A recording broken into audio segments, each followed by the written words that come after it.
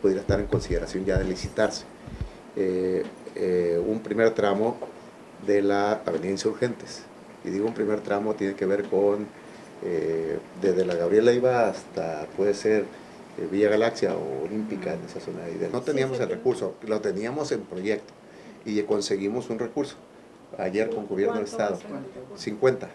50 para un primer tramo, porque cuesta, toda cuesta muchísimo, no sé, más de como 100 más.